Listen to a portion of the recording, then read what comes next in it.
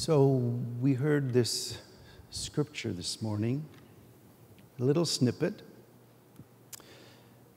How are we to respond to this story? Clearly, we cannot take this short vignette about a bunch of people wandering in the wilderness and make anything out of it. I mean, really? I mean, the whole congregation of the Israelites? Who are they anyway? If only we had died in Egypt, what were they doing there in the first place? Who is this Moses and Aaron? And for that matter, who is the Lord that seems to have the fate of this people in his hands? What can we make of this as an isolated story? Not much. Now, well, of course, we all know that the story of the children of Israel complaining in the desert is but one minuscule sequence in a much longer narrative about God and God's people that helps to characterize God as one who hears and answers the complaints of the people and who cares for them in all ways. Let's take a quick look at the larger narrative. Yeah, it begins at creation of the universe. The moon and the stars and all the earth, the animals, and ultimately humans. You heard that in the anthem. The story traces the development of the relationship between God and creation, paying particular attention to the growth of the human family. The story becomes personal with Abraham and Sarah. You know, Sarah, who laughed out loud when she heard that she was supposed to have a baby in her old age. But she did, by the grace of God. She named him Isaac. Or Sarah, who dismissed her servant Hagar out of jealousy when Hagar bore another of Abraham's son named Ishmael. Hagar went into the desert. The story continues with Isaac and his wife Rebekah, who, although she was barren, gave birth to twin sons, Esau and Jacob. And then Jacob became the father of 12 sons, 10 by Leah, the wife he really didn't want. And Joseph was his favorite son because his mother was Rachel, the woman that Jacob really wanted as his wife. And Joseph was sent to Egypt by the jealous brothers, and there he grew to be a powerful figure and from that one person grew a large Hebrew presence in Egypt. And Joseph's family came to Egypt looking for food and ended up staying and becoming slave laborers for the Egyptian pharaohs. Then along came Moses, who was born to a Hebrew woman but was raised by Pharaoh's daughter. Hmm. Moses saw the plight of his people, committed murder, and ran from Egypt. And after a time, God sent Moses and his brother Aaron back to Egypt to bring the Israelites out of bondage. They were released by Pharaoh and left Egypt through the Sea of Reeds, and now, freed from their unbearable workload and spared from the whip of the overlords, we find them wandering in the desert. And they are hungry and thirsty and grumpy getting on each other's nerves, complaining to Aaron and to Moses that they would rather be back in Egypt, that they would rather die in their labor with full stomachs than die of hunger in the wilderness. But Moses, who is still in contact with the God of Abraham, brings the complaints of the people of his God. And what does God say? Don't worry. I'll send you some bread. I'll send you some quail. I'll find you some water. And I do this so you will know who brought you out of Egypt, so you will see the glory of your God. And so it was that the God of Abraham cared for his people in the desert with bread and meat and water for 40 years to be continued.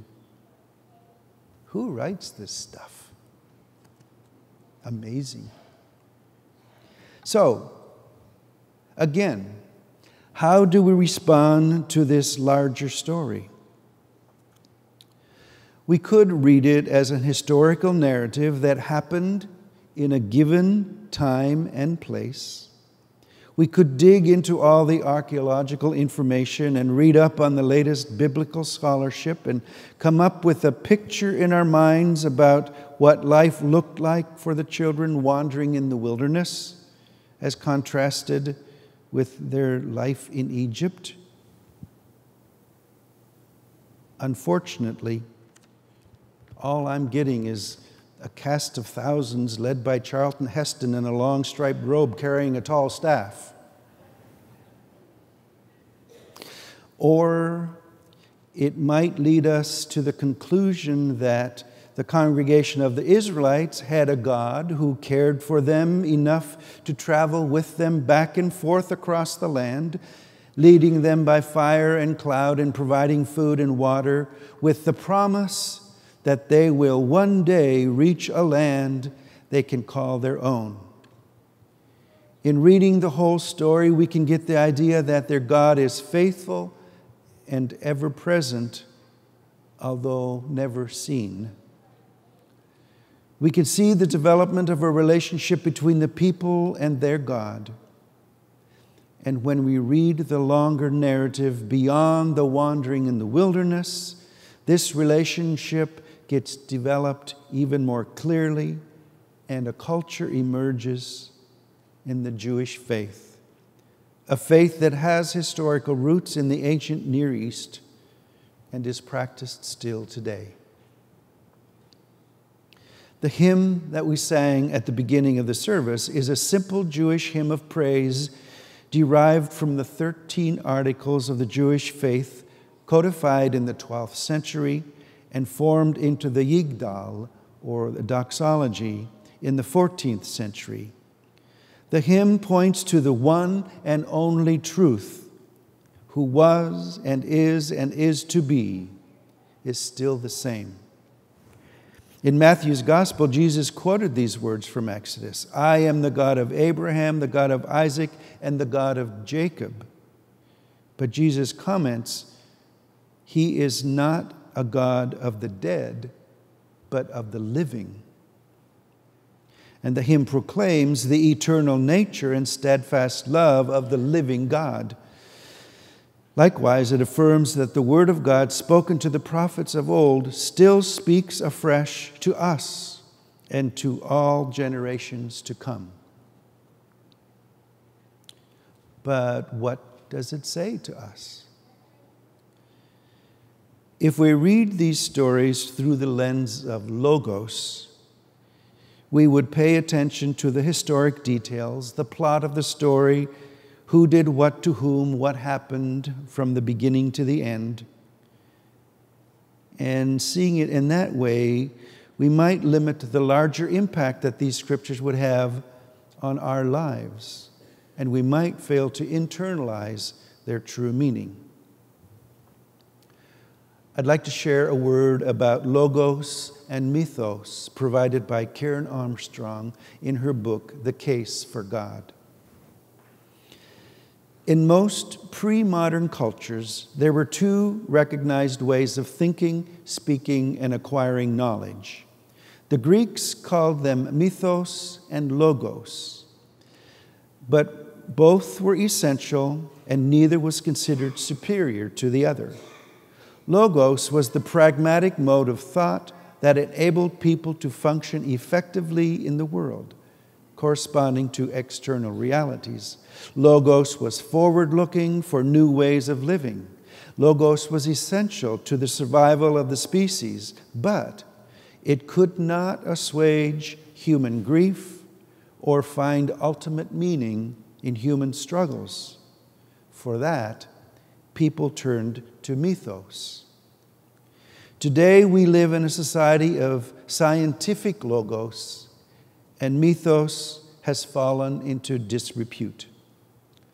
In the past, myth helped people to live effectively in our confusing world. Myths focused on aspects of the human predicament that lay outside the realm of logos. When the myth told the epic stories of heroes, these were not understood as primarily factual stories they were designed to help people go deep into their inner thoughts. People were invited to go inside and fight their own personal demons. A myth was never intended as an accurate account of a historical event. It was something that had, in some sense, happened once, but that also happens all the time. A myth was a program of action it could put you in the correct spiritual posture, but it was up to you to take the next step and make the truth of the myth a reality in your life. So, if we take the literary route with this massive narrative that we have, and let this story speak to us as mythos, what might it say? Uh, we might be able to abandon our image of a God who is a white male with long white hair and a flowing beard, who rules the world from a place up in heaven, handing out punishments to people stepping out of line, and replace it with a being of spirit a being of love that is comprised of energy. And like the song says, who was and is and is to be is still the same. And that energy is what formed the universe. And that energy is what created the world. And it is that energy that brought forth the vegetation and the animals and eventually humans and the stories that we encounter in the scriptures and other ancient writings are the attempts of humans to understand that mystery. And all the while, God is walking with us on our journey, knowing that what we do in our, in our discovering will have painful consequences. That we will initially think of only ourselves and see only our own little world and complain when we don't get what we want, and that many things will happen in our lives that defy logic. But God's creative energy never stops. Since we are one with God and each other, sharing in that same energy, God compels us to grow and develop as we wander in the desert of our lives. Along the way, we will find quail in the evening and manna and the morning dew. We will see water gushing from rocks, and we might be grateful eventually. And when we are truly grateful, the deserts in our minds will open up and produce flowers and grasses and little creatures. And we will grow together as a society and discover that when we trust ourselves and each other and God, we can leave our deserts and cross the river into a land that will be free of violent acts that destroy our inner being. We will find that the bodies that craved meat and bread and couldn't live without water are now at home with the spiritual blessings of the God who lives and moves and has its being within us.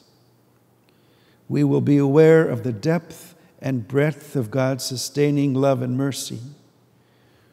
We who yearn for days of fullness will find that food is all around us we will taste and see that God is good. We will experience abundance and we will raise our voices in one great unison and declare, There is none like you. That's where the myth can take us. If we set aside our fear of being wrong and acknowledge the truth that we are right, we are right because the God we praise the God who led the people out of bondage and through wilderness and wandering, this God with whom we are one, continues to make us in His image. And we, each one of us, is part of that making. Amen.